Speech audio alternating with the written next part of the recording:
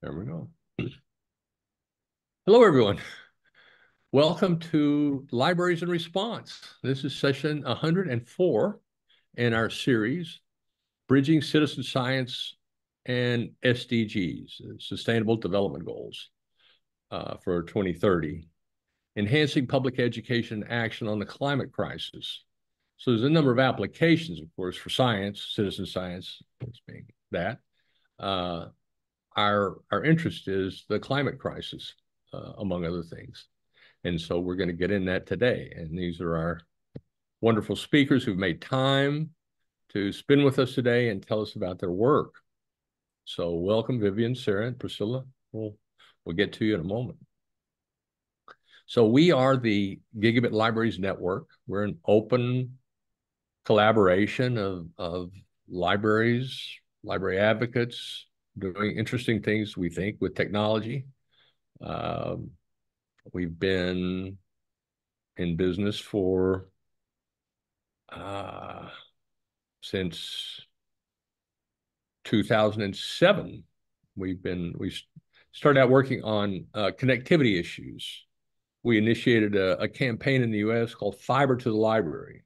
Basically, said the smartest thing we can do for infrastructure and equity is to connect all 17,000 public libraries with next generation fiber. And we're still working on that. but it is uh, that there, there was really nothing you could do that would serve more people more quickly for less investment than connecting the public libraries because they serve so many people. And at the same time, connecting them extends the physical infrastructure out into communities. We then uh, partnered with others in the schools and health uh, area and formed uh, advocacy group in, in DC called the Schools, Health, and Libraries Broadband Coalition, advocating that same approach, which then became policy in 2009 with support of federal investments and, and advocacy around uh, connectivity with the FCC and, and on and on. But uh, lately, we've we've looked beyond just connectivity, which is an essential thing. Uh, we're we're delving into AI, and here, for our purposes, Libraries in Response was formed in response to the pandemic in March of 2020. It was, you know, we started with the question, well, okay, what is a library if the building is closed? It's not nothing, but what?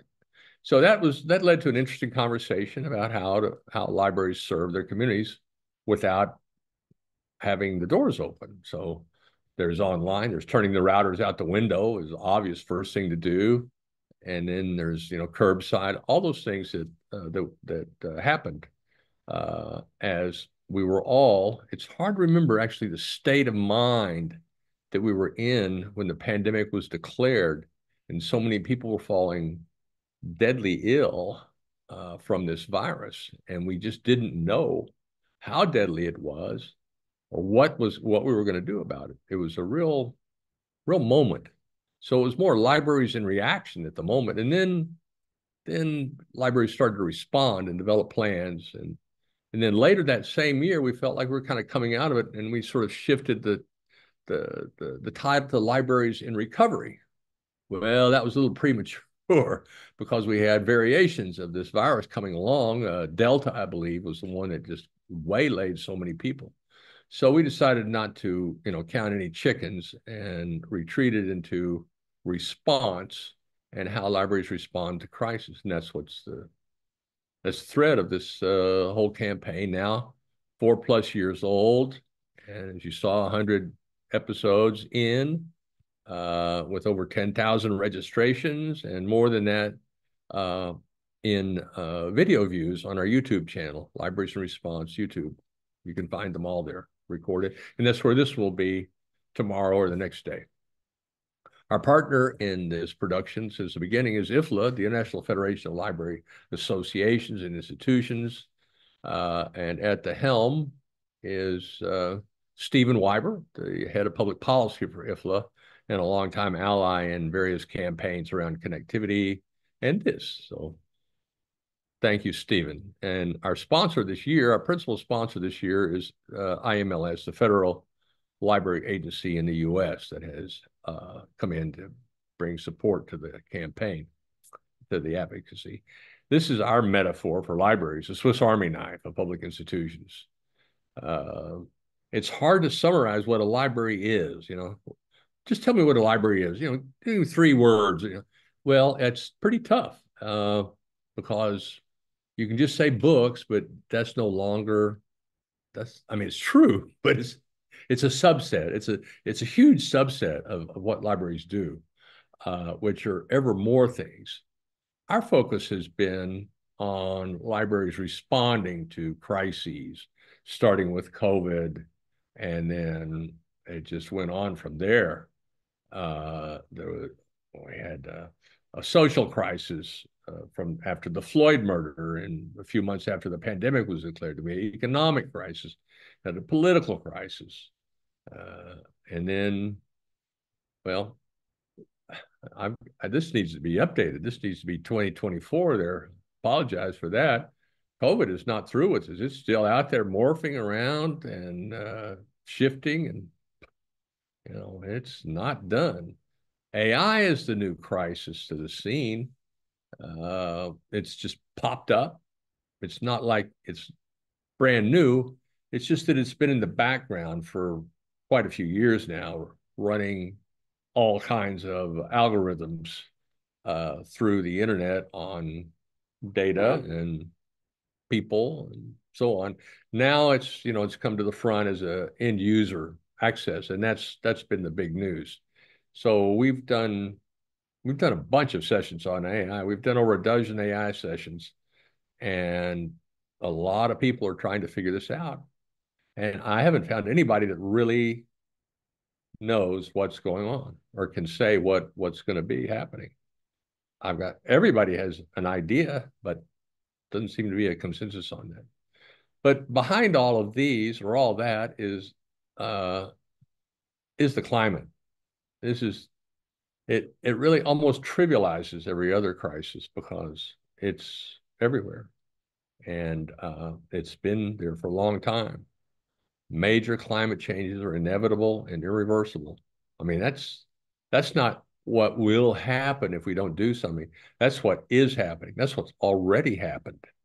And it's it's going to get worse we're a harbinger of uh, bad news on this program I have to apologize for that, but it's the fact. And uh, we did a we did a project with the uh, with the federal uh, library agency on libraries as second responders. You know, you get your police, ambulance, fire, so forth, first responders. Well, in a large scale event, first responders are overwhelmed, and then everybody becomes a responder. And so, libraries being among everyone, uh, have played roles, planned or unplanned, in large scale events. So we were we were preparing a proposal to uh, explore that, use communication strategies, backup energy, and so forth, backup electricity, and so forth. And we had a response was, well, we're already overloaded. Why do we want to take that on? Uh, point taken. However, people are going to show up at your door, like it or not. So you should be ready. You should think about these things and uh, try to prepare. So that's that's just the the fact of the matter. These are this is just what's happening around. This is now one year old slide, I think. You know, fires and floods, and hurricanes, and droughts, incredible winds. There's derecho. Everybody ever heard of that before a few years ago or even now? It's just a huge wind blowing straight across the landscape. There was a wind there uh, that wiped out 40% of the Iowa corn crop in one night, just like that. Wow. These are, there are all these weather terms, you know, just unfamiliar to me, to most people. You know, heat dome. I'd never heard of a heat dome. Now everybody's heard of a heat dome if they're not, you know, probably living under one. So it's it's serious, and uh, we need solutions. The, the large, we need the largest players to step up and convince everybody that this is really happening and that we as a as a species need to take responsibility for it and do something about it to slow it down, to stop it, maybe to reverse it, at least to slow it down. Well, they're not. They're uh, you know here and there a little bit, but it's not enough. We're we're still adding more and more, more than ever, carbon into the atmosphere. We haven't even stopped increasing our amount of contribution of carbon in the atmosphere. So it also happens at the local level. So the last point I'll make on this is that there's only so much an individual can do to mitigate this circumstance. It really is going to take the, the biggest financial institutions, the biggest governments to lead the way. But each of us, each facility, each household, each person can do something to adapt. And so the adaptation side scales all the way, all the way up and down. And that's where we think libraries really can lead. But today we're going to see how mitigation itself can be decentralized and effective. So here we are. And um, it's time to hear from our speakers. Uh, Vivienne, I believe, is going to run the slides. And then we'll hear from Vivienne, Sarah, and Priscilla, maybe in that order or maybe in different order. They have it, they have it figured out. Priscilla, by the way, is, uh, and, and, please, each of you, you know, add an introduction. Uh, these links go to your uh, LinkedIn, which are in the uh, invitation. But please add a little bit about, you know, kind of how you got into the world of libraries. I, it's always interesting to me to hear that background. I do want to add one more thing there. Uh, Fritz uh, Einfeld provided this really nifty little illustration we've used with attribution.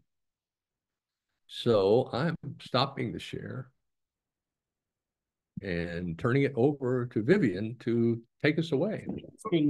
Oh. all the other stakeholders involved in the field, and then there's the the thing focused on the librarian. Uh, Stephen. Um, I, I think that was Sanders repeating what you just said. Let me see if I can mute um, Stephen. Yeah, so I, I suppose Stephen. I got him. Okay. Hour. Hour. Please, Vivienne. Vivienne. Good morning, everyone. I'm Vivienne From, from Los Angeles Public Library, and um, I am our system-wide lead for our STEM and neighborhood science initiatives. And um, very happy to be here. I became a librarian after spending five, six years in telecommunication industry. And uh, it just, I decided to come back to become a librarian because uh, my during my high school and um, college years, I was working in the library as a as a pager. I was shelving books, and you know, and that was like the places I really enjoy being at uh, as as my work. And so when the, at that turning point in uh, 2000, when the dot com bubble burst, I started thinking about what do I wanted to do next. And my father, who passed already, is the one who who enlightened me and just telling me, I remember last time you're very happy to go to work was when you're working in the library. So I went back and finished my master's in, in um, with an MLIS degree in I'm a librarian since, and I'm going on my 20th year very soon. So very happy. And I'm going to pass it on to Priscilla so you can introduce yourself. Hello, everyone. Uh, my name is Priscilla Pun. Uh, I'm currently the uh, Secretary of uh, IFLA ENSULIB, uh, then Environment, Sustainability, and Library sections. Um, I actually, I, I joined the uh, IFLA since I think uh, 2018. And at that time, I joined the other sections. I joined the uh, cataloging sections and also acquisition sections uh, at, at IFLA. And since 2021, um, uh, I joined the ENSULIB section, uh, and it's also the year that the it's also also the first year that the ENSULIB uh, became an a sections. Before that, uh, it's just a, a SIG and a special interest group. So it's very um we we are we are glad that um uh, the sustainability and and the climate change will pay more attention uh to uh to to the public and also to the library field um yeah i basically i um i I personally work in uh, Macau, uh, in China. I work as the uh, technical process. Uh, so um, it's about the uh, collection development, and I also uh, working for some uh, information literacy. Uh, so uh, work to working to promote the um, uh, some education for sustainability, sustainable development is also um, a part of my my my job, and I, I would also like to to see in the future uh, what we can we can do. Yeah, so I'm good that I have the chance to uh, to share some uh, current works uh, of ENSULIB today. Yes, thank you. And Sarah? Hi, I'm Sarah Tribelhorne. I'm the Sciences Librarian at San Diego State University and uh, the co-founder and chair of our new sustainability committee in our library. I, um, as a disclaimer, am a relatively new librarian.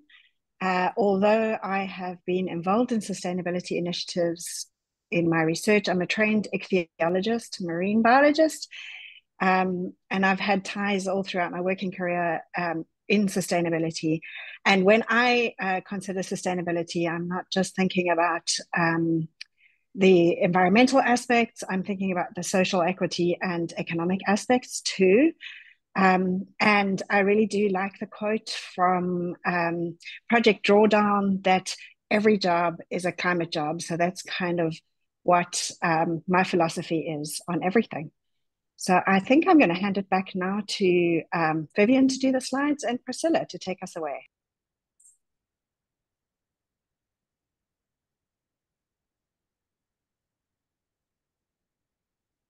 Priscilla, you can go ahead. yeah, sure. Thank you. Yes, um, I I'm just uh very happy to to be here and also to uh, share with you uh in in maybe 10 minutes about the uh ENSULIB's current work and what ENSULIB have been done there in the past years. Next slide, please. Uh, so here is something that I, I would like to share with you, uh, including the uh, our signature projects, uh, IFLA Green Library Award, and also um, uh, the Green Library definition, and uh, some of the other current projects, including uh, book projects and the uh, uh, guidelines uh, for green and sustainable libraries. Next slide.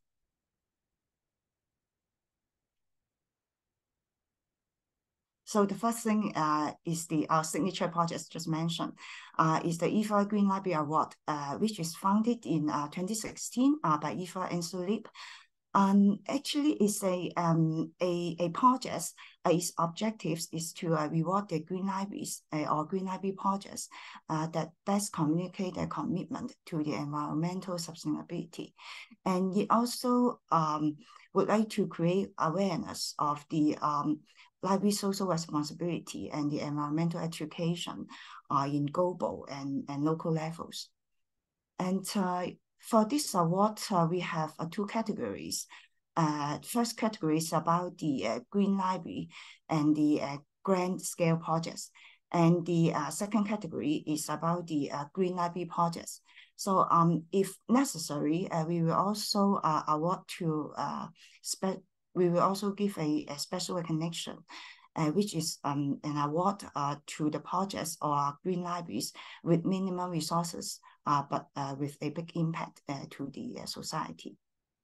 Next slide, please.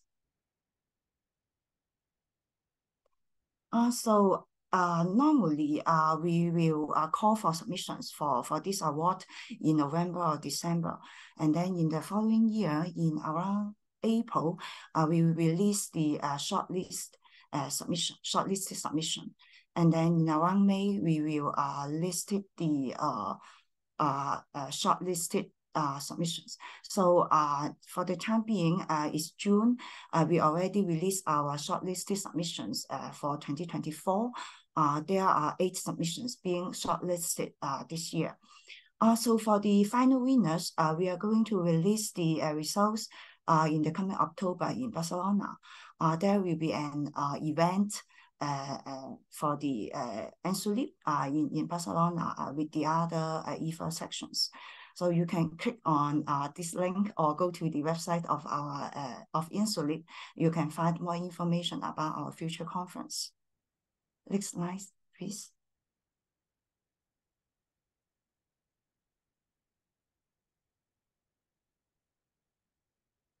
Oh.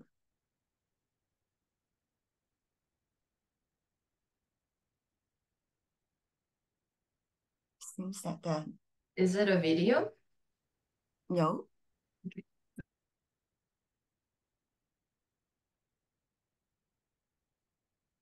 Oh, okay, it's good.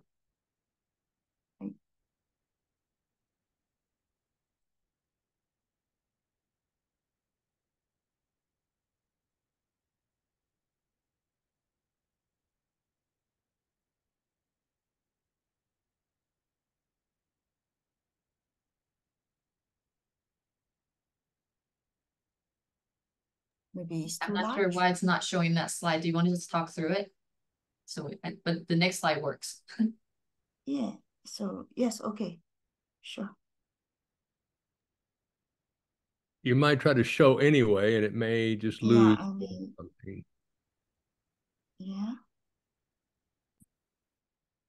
You you may you may show yes yes you may show something like this. Yes and then I can yeah uh so I just um sharing about the uh, Green Library Award. Uh so um the the final result will be released and then the second round of uh of the IFLA Green Library Award will will, will start in uh in the end of this year. So if um you still have chance to uh send us your submissions.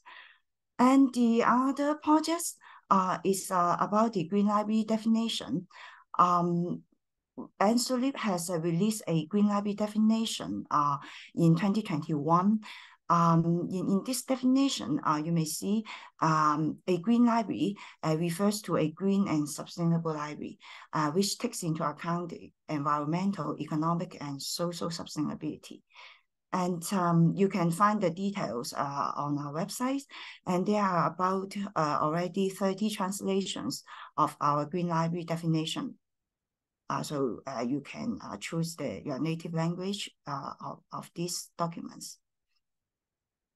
Next slide, please.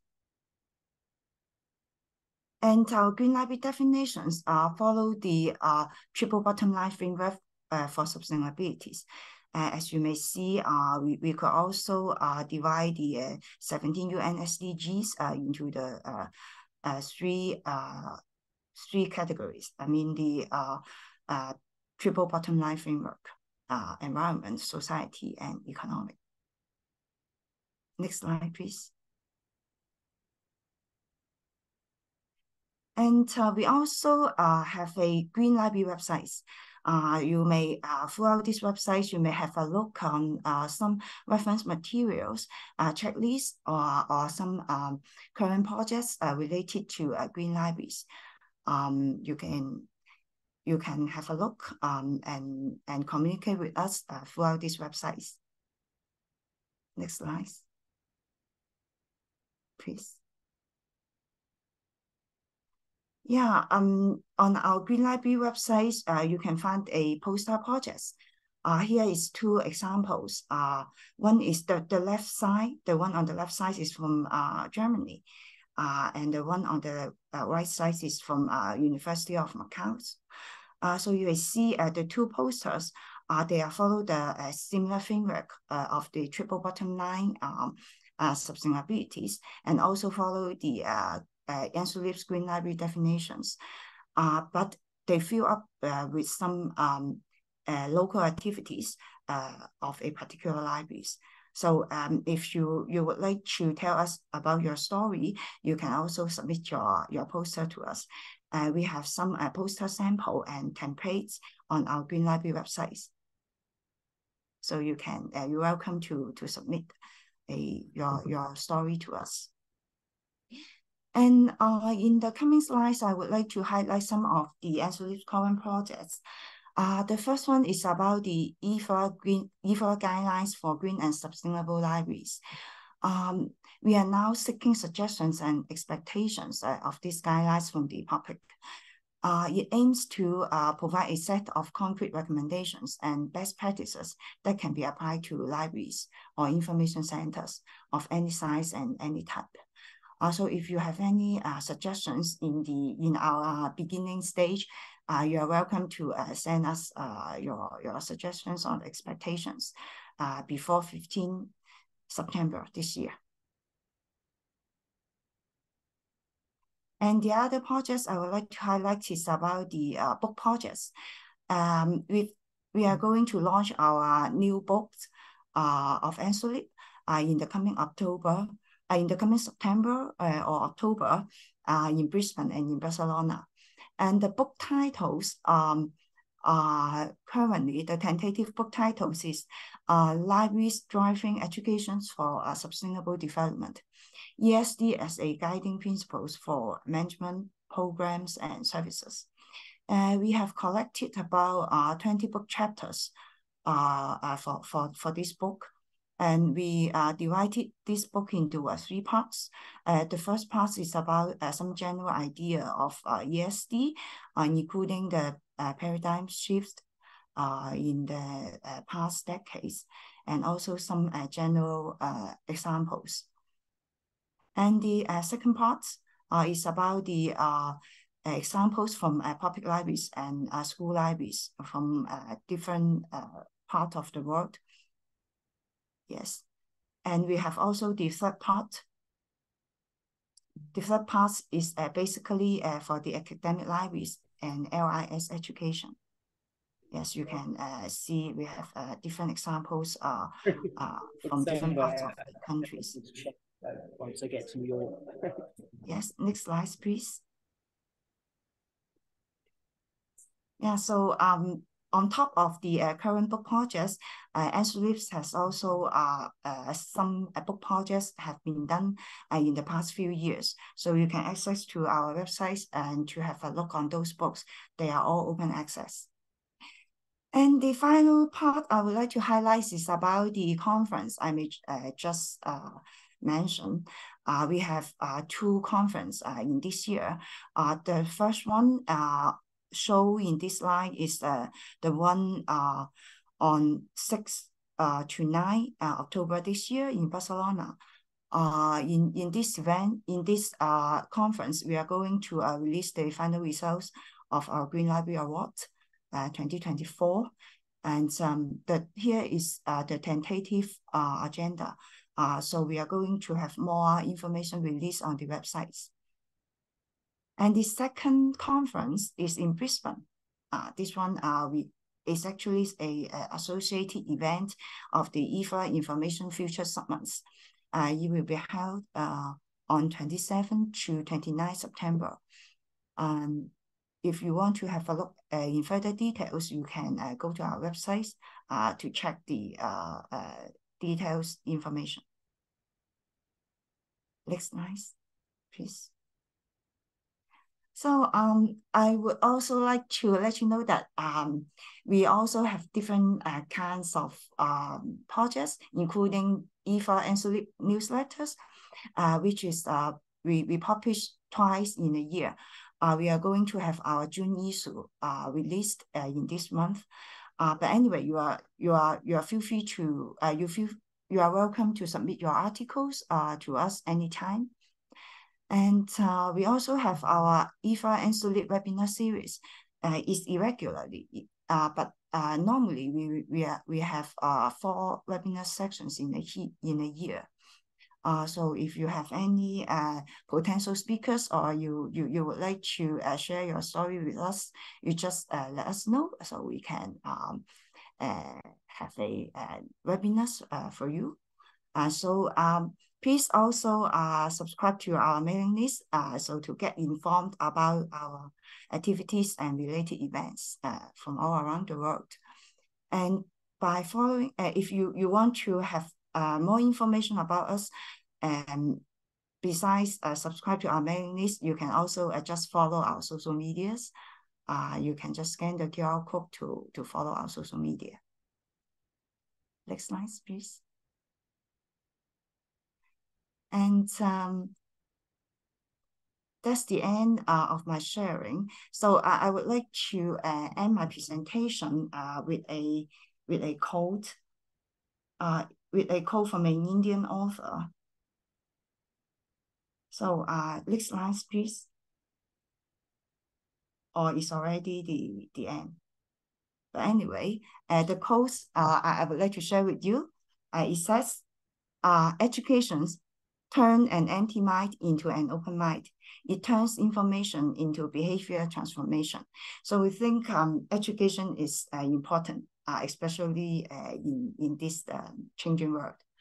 Okay, thank you. Thank you so much. I pass to Vivienne. That's great, Priscilla. Oh, That's fantastic. Um, the um, so ENSULIB is uh, it's open, right? I mean, you don't have actual membership. You just subscribe to the newsletter, and then you can take advantage of any of the ENSULIB materials, and that's it, as well as submit proposals. Is that? I'm trying to understand how organ how it functions organizationally. Do you do you join ENSULIB or you just subscribe Yes. to the newsletter? Yes, we, we have uh, different types of uh journey and so you can uh just it uh, follow follow our social media so you can as an audience uh to to learn the information uh, uh, on on on the related topics. Or if you would like to uh, get involved with us it, it also means that you can work with us. For example um you you, you would like to uh, maybe join our for example our projects uh, for example, if you, you would like to share the share, share your, your story with us, you can we can have work work together to to hold an webinar series, and or you have some uh, particular things you would like to uh, make it a project, uh, just like um bibliographic tools or or what uh, our guidelines you would like to work with us uh, for particular topics, uh, you you can just uh, contact with us so we can see the possibility uh, to and, and see how to present it uh, as a project or to to work further on it. Wonderful, wonderful. It's always uh, been attractive to us, uh, kind of exciting to us that the the library sits at the heart of a community is such a natural place, uh, laboratory for green tech. It's like it's like a demo site live. You know, anything that's coming along, you can show it there. You can you can open the inside of the building and you know have people come and say, oh, this is what they were talking about with you know uh, heat uh, heat sinks and and solar panels or whatever. The library is just there to be an open uh, demo and lab for testing them out. So it's it's great. Um, as far as events, we will try to contribute to the cause. Generally speaking, uh, we have uh, Bill McKibben scheduled for coming back on uh, end of the year, either November or December of this year. He'll be coming back, visiting with us and telling us, you know, how it's going, giving us the the good news. Somehow he can find good news in all the bad news. He's a wonderful guy. Uh, thanks. So uh, carry on, uh, Vivienne. Who's who's up next? I am. All So right. jump right in. Right. So I am going to take everyone into the world of citizen science. And again, thank you for the opportunity. So uh, we're going to start by telling, uh, start by uh, dive into what citizen science actually means. So citizen science has many names, community science, street science, people science. Uh, it all involves in uh, involves public participation in genuine scientific research. This collaboration helps advance scientific knowledge by turning everyday curiosity into meaningful impact. The term citizen science has sparked some debate in the citizen science communities for quite some time, mainly because it sounds like you need to be a citizen of a country or a place to join in.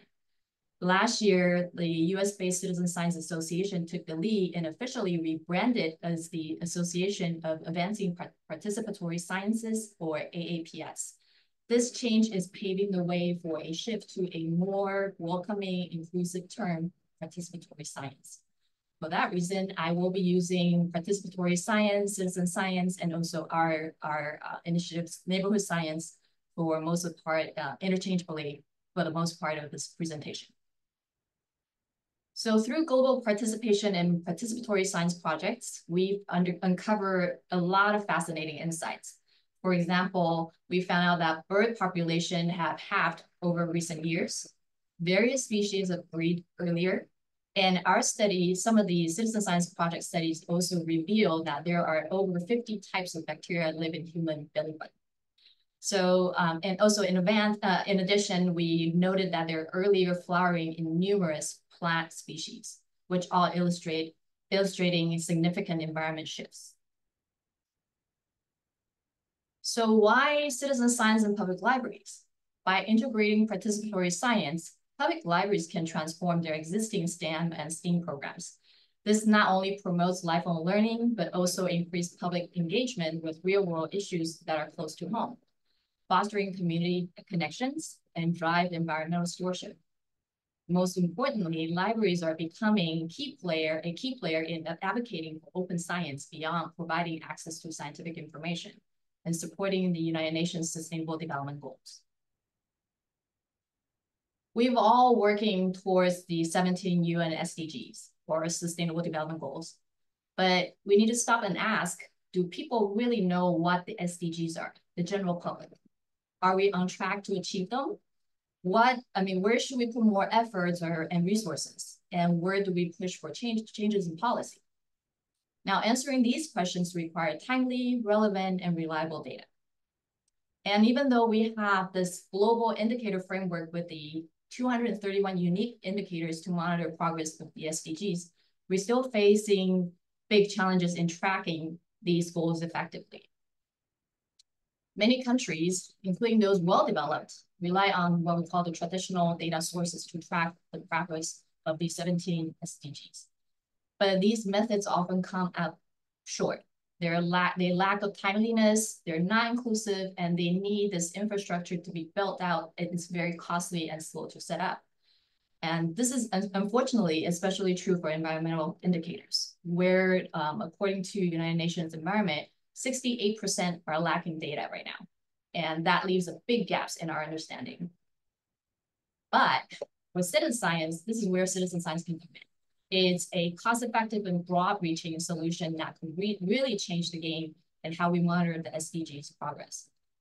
By bringing these program, if when we bring citizen science program into public libraries, we're not just teaching people about the SDGs, we're getting them directly involved in the data collection process. And it's working. Research, research have shown that participatory science is really significantly boosting our data collection, um, already contributing or could contribute to around 33% of all SDG indicators. And what's more is that every single SDG has at least one indicator that could be tracked through citizen science. Also, participatory, participatory science volunteers, they also play a crucial role in driving local progress uh, towards sustainable development. So aside from collecting data, assessing SDG progress, and leveraging local expertise through particip particip participatory monitoring, uh, monitor, monitor, monitoring uh, methods.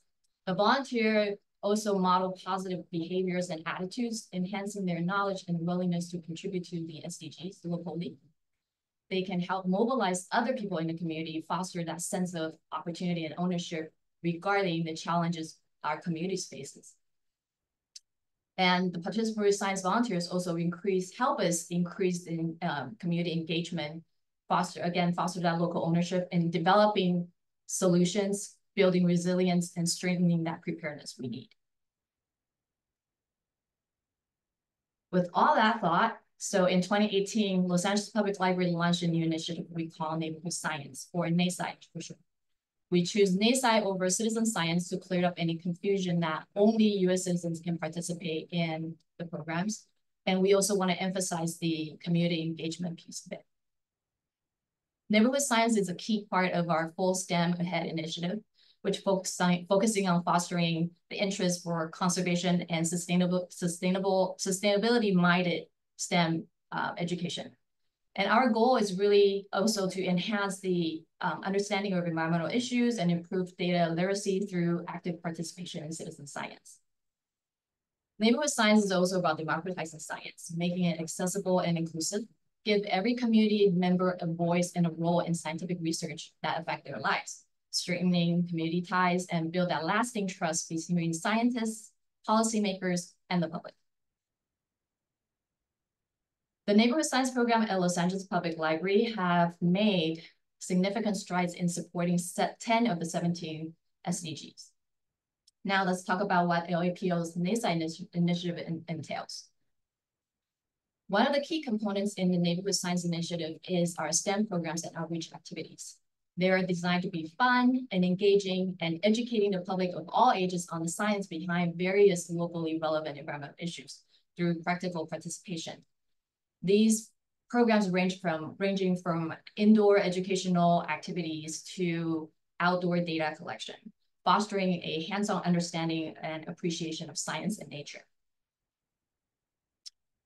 To lower the barriers to entry, we also offer what we call do-it-yourself or DIY neighborhood science circulating kits, which allow the public to engage the environmental with environmental topics with their, at their own pace. These kits now available at, about 39 of our 73 locations, covering locally relevant, relevant topics such as air and water quality, light pollution measuring, uh, mosquito habitat mapping, urban heat impact and tree height measuring, and exploring uh, biodiversity. All of these are to empowering our community members to learn and explore independently. Partnerships are crucial to the success of our neighborhood science initiative. By collaborating with organizations at the federal, state, and local levels, we're not, we've not only enhanced the content and the reach of our programs, but also deepen that community's awareness and of and connection to environmental concerns that are impacting their quality of life. Turning to a specific example, the LA BioBlitz Challenge we launched in 2021 with the biodiversity research team of the city's sanitation environmental environment department. This challenge has now become a citywide tradition, engaging the, the community to document local biodiversity using tools, um, the citizen science tool called iNaturalist. This month-long campaign not only fills critical data gaps, but also help educate and unite the community in preserving and understanding our local ecosystems. For those of you new to the term BioBlitz, it's basically an event where scientists and the communities come together to identify as many species as possible in a set area over a set period of time. So why do we launch a citywide BioBlitz challenge? The challenge itself is really a motivating call to action for a greener, more connected Los Angeles. Our goal are goals are straightforward. We want to raise awareness of urban biodiversity within the city boundary, document the city's unique species, and fill biodiversity data gaps. And we also want to amplify the advantages people can benefit from um, LA's diverse ecosystem, which is measured by the city's biodiversity index. But it's again, it's more than just data gathering. We want to invite all every Los Angeles residents to photograph local flora and fauna, not just to contribute to the scientific knowledge, but again to unite our community and deepen the understanding of the environment we share. And this wealth of community source data is invaluable. It provides the city planner and policymakers with the insights that's needed to collaborate with our city's research team, ensuring the protection and conservation of our urban wildlife and habitats. So it's it's about making that informed decision to safeguard our natural heritage for our future generations.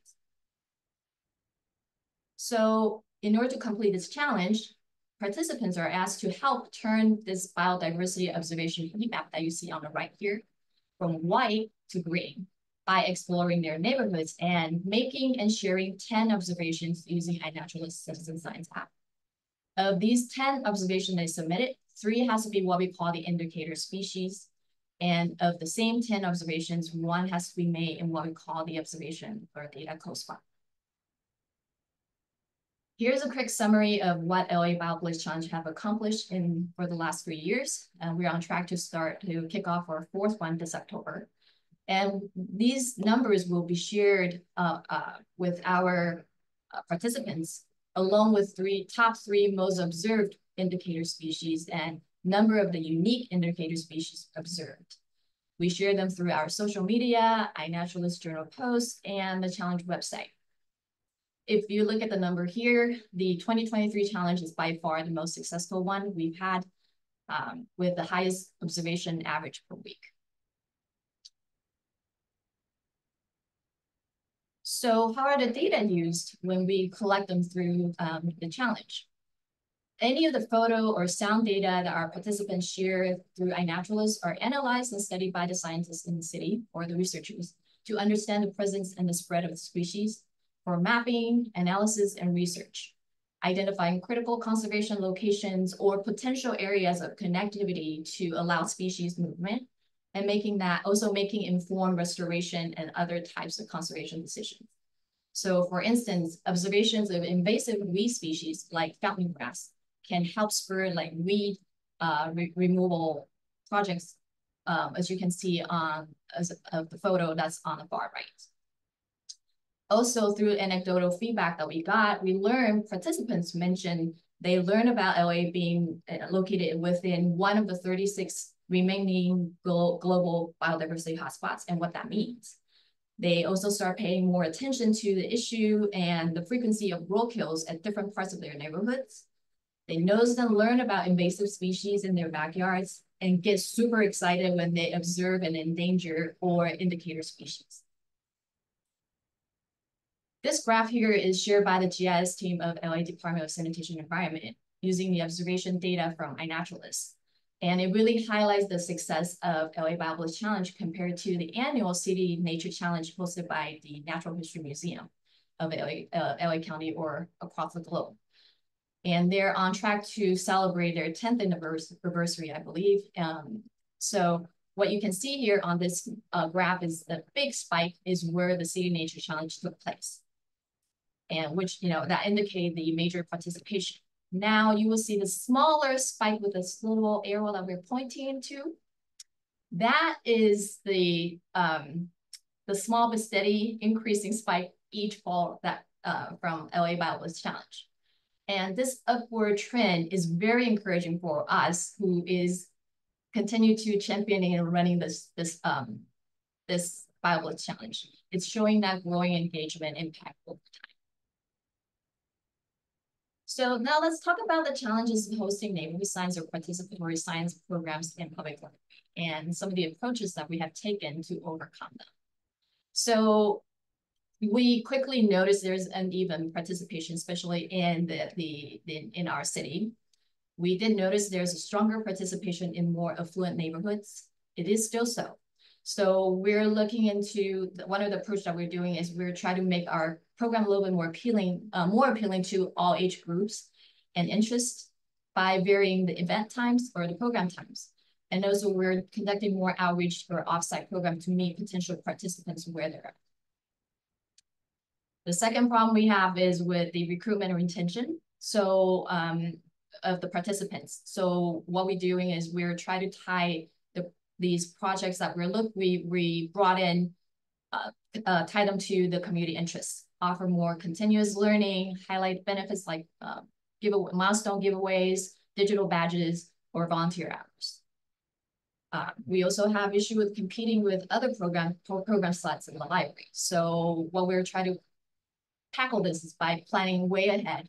Um, also try to integrate citizen science into other existing programs, provide more hybrid options, promote through display or outreach, and with technological barriers, we are choosing the projects that have low entry barriers. And we're working with project developers to try to standardize the measuring tool or monitoring tools. Um, provide. We are also looking to providing, we've already done that, sorry, provide non-digital data collection options using paper, paper and pencil, for instance. And we also provide, um, in the process of recording short uh, video tutorials. For cultural and language barriers, we, we want to collaborate more with local community, more local community groups for their knowledge in the local uh, cultural heritage. We also um, work with our translation team to get most of our uh, content translated into at least seven different other languages. For data literacy issues, we partner with experts, uh, especially our partners, to train librarians and also off offer public programs to teach about data collection and analysis And when possible, we work with project manager, uh, project developers to try to simplify the protocols uh, in terms of monitoring and without sacrificing the accuracy uh, they're looking for. Lastly is the privacy concern. The two biggest concerns are um, providing email addresses and geotag for sharing their observations. So um, one way we, we did is by creating what we call the anonymous input options that's available on our, our website. And we're also trying to educate the public about the importance of uh, geospatial data with a new program that's in the process of, it's about basic map making program using Google Maps. So that is the end of my um, my presentation, and I'm going to end my presentation with a quote that I really like, and I think is the essence, it really explains the essence of citizen science. It's tell me and I forget, teach me and I may remember, involve me and I learn by Benjamin Franklin. Thank you, and now I'm going to pass this to back to Don.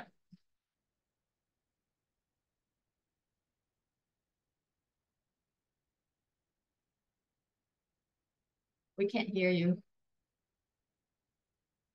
For some reason. It's a wonderful, wonderful, wonderful quote, of course, uh, from Franklin, uh, and a, and a wonderful program. It, it, just there's so many things on so many layers that seem to be happening there. You're you're fostering science literacy. I mean, we really need people to be more objective and scientific in in their understanding of the world. You're also finding potential scientists, real scientists, you know, who may really pursue an academic uh, career in, in science as a result of that. The other thing is that you're doing real science. This is not practice science. You're not asking questions, the answers at the back of the chapter. You know, this is like questions we don't have answers for. And that, that, and in my experience, that makes all the difference in motivation when people feel like they're, they're asking and trying to answer questions that no one knows the answer for. So, bravo. That's uh, great. Keep keep keep that up. Anyway, so okay, uh, Sarah, you're up.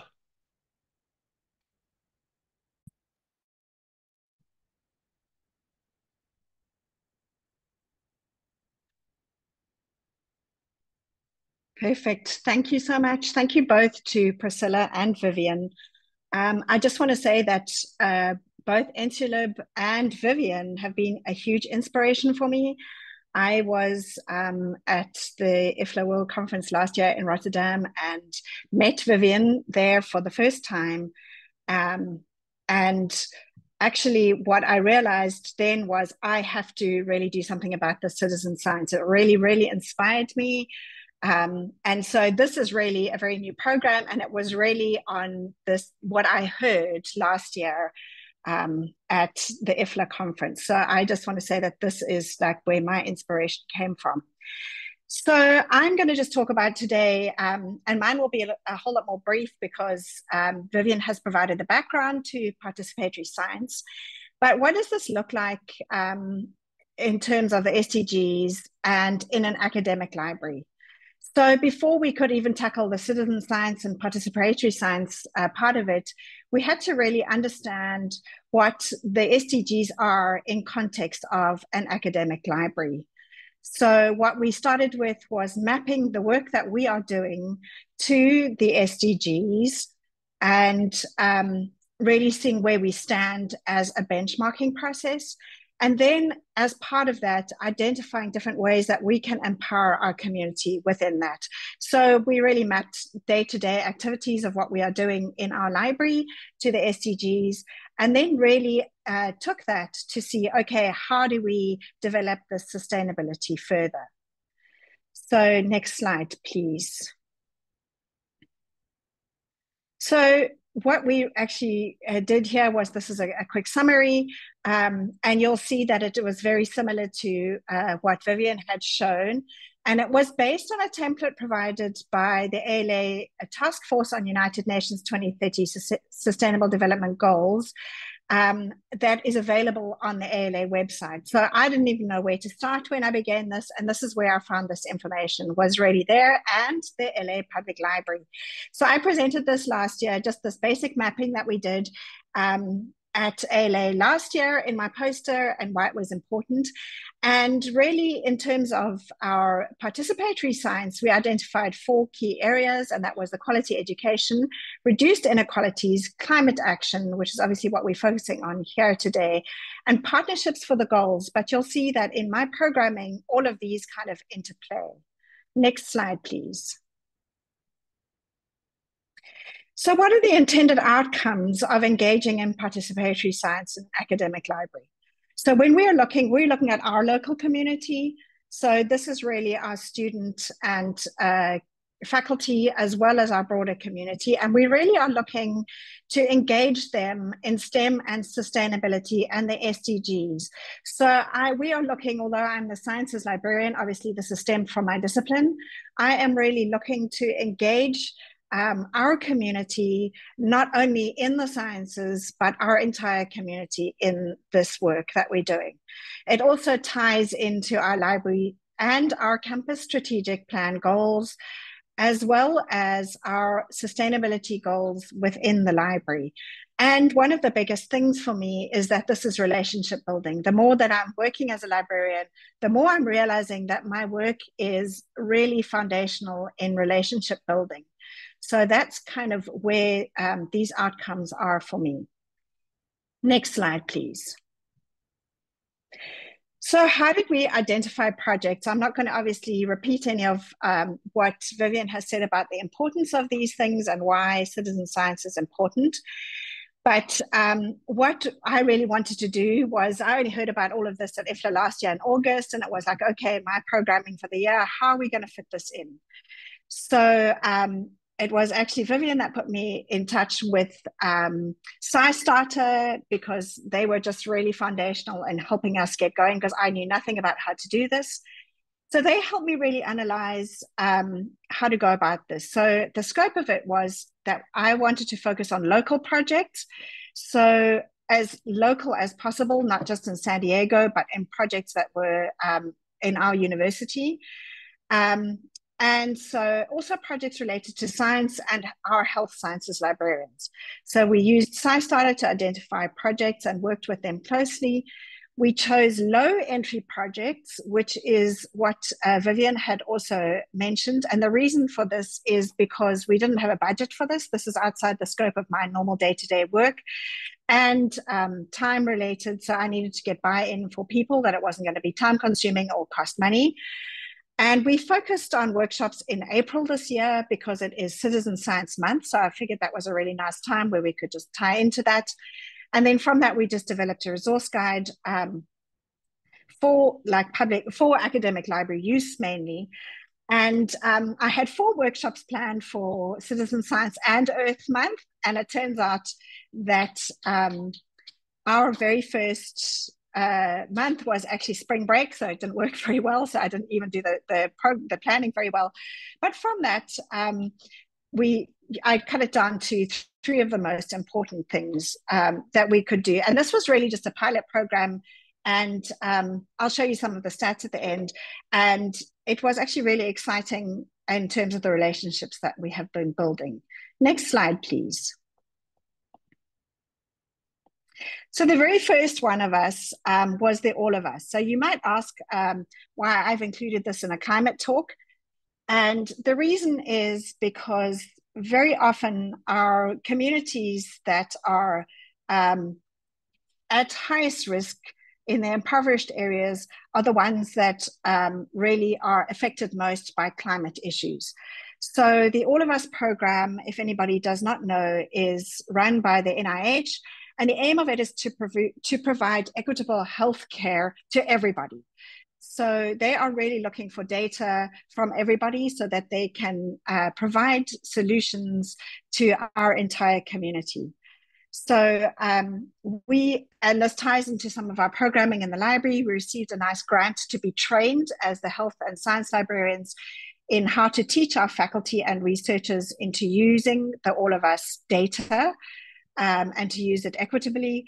And then we received a grant as part of um, a community collaboration with the academic, public, and county libraries in San Diego uh, to do a um, sustainability programming and it came from all of us. So that is one of the reasons why we chose that.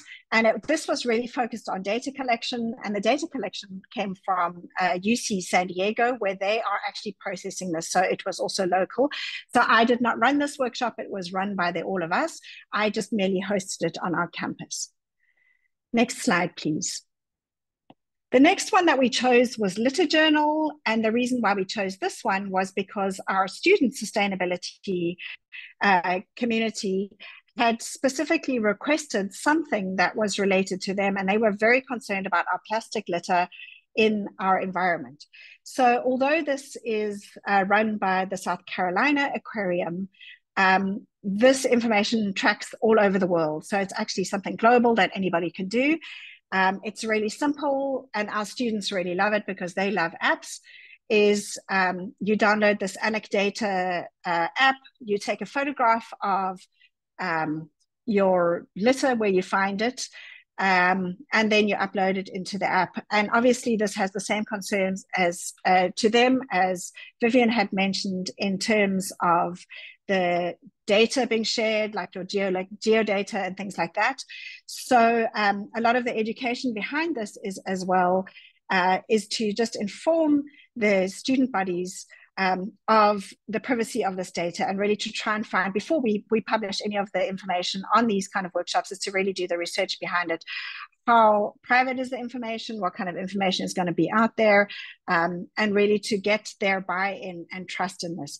So this was a student collaboration, and the aim of it is to provide, uh, improve health, promote habitat conservation, and save wildlife, which were really important to what our student body had requested. Next slide, please.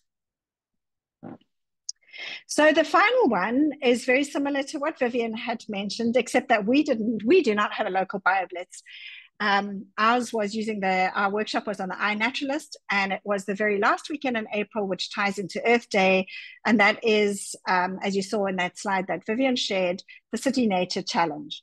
So it was a little bit of a challenge for me to identify these projects in our um, area. And it was really kind of like this funny roundabout way um, of doing things. So I had sent out uh, to all of my faculty my LibGuide and said, hey, I'm starting citizen science. Do you have any projects that you would like me to promote and feed into? And I got crickets back, nothing, nothing, nothing. And eventually somebody came back to me and said, oh, what is the citizen science thing? Because I might have something like that is related. And then I heard nothing back. Um, and then somebody coincidentally um, had seen my advertising of the iNaturalist workshop and was working on campus um, and independently was actually the organizer of the City Nature Challenge and was so excited and put me in touch with the San Diego State University Biodiversity Museum, which was actually the person that had reached out to me in the beginning. And it turns out that all the data of the San Diego City Nature Challenge feeds into our very own Biodiversity Museum and it was in conjunction with the San Diego Natural History Museum. But it was kind of like this really roundabout way of having to build these relationships first and then getting like, oh, this is what we're doing, and all this data um, kind of feeds into that. So it was really exciting to see how that works. And I'm not going to go into the details because it's very similar to the BioBlitz that uh, Vivienne had mentioned. Um, next slide, please. So I'm just going to share some of the results of this was literally just a month long, and this is just the beginning of we hoping a, a like a year long program. It won't just be in the month. Uh, just from our month, we've had 400 plus views on our LibGuide. Our workshop attendance, um, uh, our workshops that we held were actually on uh, during our farmers market, which is a really busy area and it's just outside the library. We chose that time because there were there would have been uh, a lot of participation, hopefully. Uh, 71 participants that we directly engaged with for the all of us. Five of those participants actually gave their data, and it was more than I had ever imagined because I never thought that students would give their data because they had to do blood samples um, and other health information. So that was really exciting that they did that. Litter Journal, we had 27 engagements, and I unfortunately cannot track any of that data because it obviously goes to the South Carolina Museum, so that was really hard. Um, and then the iNaturalist, we engaged with 84, and that was really kind of exciting because a lot of those came specifically for us. We were part of the San Diego City Nature um, calendar, so they sent people to us. We were public for that. Um, and then the City Nature Challenge shared their results with us, which was really exciting for San Diego County. There were 28,633 observations, 2009 uh, 2,900 species were identified, of which 145 were rare or endangered or threatened. There were over a thousand observers and 900 identifiers, and those are all crowdsourced and they're volunteers in that. So it was kind of exciting to see some of that. And our, our, as a result of this, we have now, um, we will be doing programming with them as well as our county and public libraries to uh, really develop this program further. Next slide, please. So in addition to some of the challenges um, that we were mentioned by Vivienne, uh, one of the biggest challenges for me was finding projects relevant to our local community, um, but hopefully there will be some kind of snowballing from that now that we have started. Um, and the opportunities were really to provide hands on education about what participatory science is and the SDGs. And this was kind of really exciting for me because most of the people that were walking past in the farmers market, are the students, faculty, staff, um, many of them had no idea what this was. When I started uh, saying, Oh, do you know about citizen science? They were like, No idea. When I mentioned community science, they were like, Oh. And then when I actually said what we were doing, they were like, Oh, I'm like a marketing major. Can I really take part in this? This is like so exciting. So that was really kind of exciting for me. And then uh, the other real opportunity was just fostering those relationships to enhance student success in our community with our faculty um, and with students, and then our broader community with uh, these projects like the City Nature Challenge, the San Diego Natural History Museum, hopefully um, our Zoo and Wildlife Alliance next year, um, and then obviously the bigger the bigger communities like the All of Us. Next slide, please. And that was my presentation. Thank you very much. And any questions for any of us? Sarah, so nice. Uh, I mean, so so extensive um, uh, uh, an activity in the reach. It's great that you've done this uh, national uh, outreach network. I, I, had a question about uh, policy impact. So you do these projects, you collect data, and they'll have or could have effect on you know, local policy? Are we going to spend more money on picking up litter, or we're going to do it like the Japanese do and just going to not have any litter receptacles anywhere, make everybody responsible for others? You know that they don't, they, you can't throw it. in. Uh, but the question about impact on policy is there a strategy for that, or you just look for opportunities where the work may apply to a policy question? In terms of what we are doing, in terms of what we are doing, um, I had just initially chosen these low entry um, level, but definitely what we are looking for in the future is to really tie into uh, like local policy, um, broader policy if we need to. I do have to have a disclaimer here as well, which I never mentioned in the beginning, is that I'm very privileged in the part of world where I work that I can do this work freely. So I feel that it is important very much to tie what we are uh, doing into policy eventually, because I know that there are a lot of um, academic libraries in particular whose hands are tied with this work and they're having to reframe what they are doing. They can do it similarly, but with more barriers. So I feel that really we need to be advocating. So that is de definitely the next step is really working with our local uh, policy makers to see where they need um, this data and how we can effectively use the data. Obviously, this is, was just the beginning for us. I need to now really be able to assess this data, to be able to assess it, which um, is going to be more complicated. But really, there are people that are doing this, is to find those people, um, seeing what uh, objectives they need, what outcomes they need, and then providing the data that we are collecting to back that up your point about networking and relationship building. Uh, and there's so much going on it's difficult to know. Uh, but yet, there often you do find people that are doing things very compatible uh, with with your efforts and can compound those. Uh, Beth asked if you know of other academic libraries doing this same work. Actually, I do not know of any that are actually doing the programming. Um, I had borrowed uh, my LibGuide originally from Rutgers, who had done this, and Carnegie Mellon, who had produced uh, citizen science uh, LibGuides, both of them. I reached out to them first and I said, Can I please use you as an example? They just had LibGuides on citizen science and what citizen science is, but they didn't look like, in, well, in those LibGuides that they were actually doing any programming towards it. So I don't know whether that tied into any coursework that they were doing. Um, and they they both of those when I reached out to those librarians were not personally doing any of the programming. Um, it's possible that some of those departments were doing it, um, but it is definitely something that we can promote amongst academic libraries. And and to be honest, I'm not doing any of this work. I am literally just doing the relationship building, getting my community excited and feeding into other projects in our area. So um, we don't have um, at this stage any um, of the kits like Vivienne had has in her library. I would love to do that. Um, we just don't have the funding for that at the moment, and um, so I'm really just tying into what we have at the moment.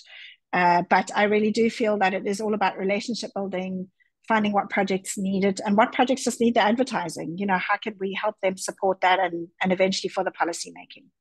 Understand, yes. Uh, Eric mentions that uh, Michigan State has a project there in the chat. You can see what he's saying about that. Looks interesting. Oh, that's awesome. That is yeah. awesome. Yeah, yeah, I will reach out to them. Okay, good, good. Uh, Vivienne, I had a question about uh, age. You you said you were doing these programs for all different ages. What ages are you having the most success with? Uh, mostly uh, children and teens. Um, uh. Children, actually, let me rephrase that: it's children and adults. And teens, it's like hit and miss in certain in certain okay. different library branches because you have to do something um, that's engaging enough to get them. And the good news is a lot of citizen science projects nowadays are created in the gamified way.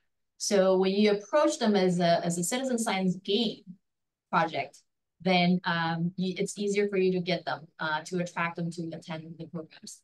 And then the thing we did is we offer them volunteer hours. Um, not a whole lot, but because there's a requirement for them to graduate from high school with a volunteer hours. So we, when they join us to become what we call the city, um, the uh, teen council in different branch libraries, the teen librarian would, would let them know about our citizen science project or neighborhood science projects and then encourage them to participate. And by the way we tracking their participation is using SciStarters uh, platform, which you can use that to track their um, the observation they logged on the time that they they they go into different um, different projects that they have participated, and from there, that's how we figured out how many hours to give to them just just add some complexity to your program already. I mean, you've got different, so different motivations for age levels. It's uh, you know, it's like they're all completely different programs. I'm imagining, but the the it's interesting to, that that there could be programs that they could share an interest around where people of different ages could work together on on these things. Uh, uh, one more question: inside or outside? Where's where more? Which are more popular? Outside. Outside. Okay. Great. Uh, we have run we have run over time a little bit, uh, but this is not a TV show, though we want to respect everybody's time and we thank everyone for who's still here staying with us. Uh, but uh, we'll probably need to close it out now. So we're going to ask you for final comments. Sarah, would you like to leave us with something?